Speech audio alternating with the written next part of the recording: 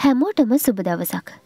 බටහිර යටිතල පහසුකම් ඉලක්ක කර ගැනීම සඳහා රුසියාව හට අභ්‍යවකාශය පදනම් කරගත් ආයුධ භාවිතා කළ හැකි බව එක්සත් රාජධානයේ ආරක්ෂක මාණ්ඩලික ප්‍රධානී අද්මිරාල් ටෝනි රාඩිකින් අභ්‍යවකාශ යුද අනතුරු ඇඟවීමක් නිකුත් කරමින් පවසා තිබෙනවා. පසුගිය වසරේ එක්සත් රාජධානයේ ආරක්ෂක මාණ්ඩලික ප්‍රධානී තනතුර භාරගත් ටෝනි රුසියාව දකින්නේ බ්‍රිතානයට දිගුකාලින තර්ජනයක් වශයෙන්. ටෝනි පවසන්නේ රුසියාවට අභ්‍යවකාශයේ ඕනෑම දෙයක් කිරීමට හැකි බවයි. පසුගිය වසරේ අගභාගයේදී රුසියාව අභ්‍යවකාශයේ දැවන්ත සුන්බුන් වස්තුවක් නිර්මාණය කොට එය පුපුරවා හැරි බවත් රුසියාවට න්‍යෂ්ටික ශක්තිය මෙන්ම දියයට ශක්තියත් ඇති බවත් ඔහු පවසා සිටියා.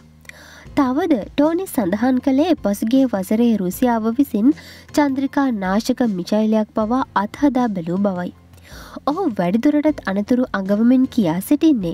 බටහිර සන්නිවේදන යටිතල ව්‍යෝහය අඩපන කළ හැකි චන්ද්‍රකා පද්ධතිවලට රුසියානු ප්‍රහාරයක් පවා අපේක්ෂා කළ හැකි බවයි.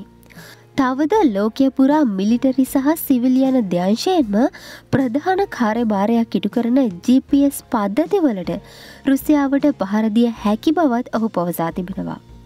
රුසියාව අභ්‍යවකාශයේදී බටහිර සමඟ සටන් කිරීමට අදහස් කරන බවට කිසිදු ඇඟවීමක් ලබාදී නෑ. කෙසේ වෙතත් ටෝනිමීට පෙරද එවැනිම අනතුරු ඇඟවීමක් ලබාදී තිබෙනවා. රුසියාවට සයිබර් හැකියාවන් ඇත අභ්‍යවකාශ හැකියාවන් ඇත ජලය යට විශේෂිත මෙහෙයුම් ඇත එබැවින් ලෝකයේ තොරතුරු මුළු ලොවපුරා සංසරණයවීමට ඉඩ සලසන දියයට කේබල්වලට රුසියාවෙන් තර්ජනයක් විය හැකි යනුවෙන් ඔහු ජූලි මාසේදී ප්‍රකාශ කළා.